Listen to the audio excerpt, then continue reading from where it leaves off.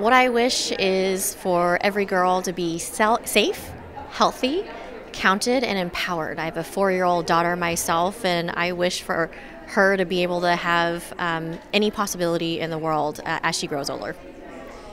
Today we're talking a lot about the Sustainable Development Goals, and you also represent a, a, partnership opportunity.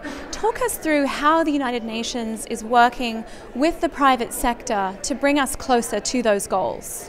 There's so many great examples of what the United Nations is doing with private sector, the Every Woman, Every Child uh, coalition and partnership is a great example of that, of the private sector really stepping up around maternal and child health to really help to catalyze for, for the MDGs, particularly uh, back in 2010, to really help to emphasize and focus on to be able to move the needle around uh, decreasing maternal and child deaths. And now with the Sustainable De- Development Goals, there's a huge opportunity for companies to really make new commitments um, as it relates to the 17 goals and whichever social issue that they care about. But it's more than just corporate social responsibility and philanthropy. It's how can they make private investments because that really is going to help to um, reframe and catalyze how we fund the global goals over the next 15 years.